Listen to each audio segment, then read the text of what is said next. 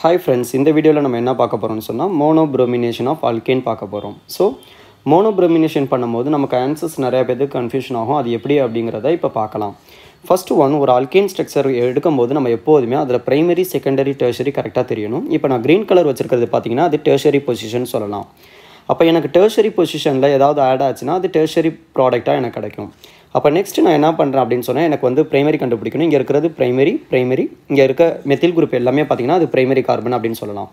Next ஒன்று இருக்கிறது red colour மட்டும் வைக்கிறேன். அது என்னென்னு பார்த்தீங்கன்னா செகண்டரி இப்போ நம்ம ஆன்சர் ட்ரை பண்ணணும். இப்போ லைட் அப்படிங்கிற ஒரு வேர்டு இருக்கனால லைட் வேர்டு இருக்கும்போது ஃப்ரீ ரேடிக்கல் ஹாலஜினேஷன் ரியாக்ஷன் நடக்கும்போது நமக்கு டெர்ஷரி தான் more stable and compare with second one and primary one so ஆன்சருக்கு key point தெரியும்.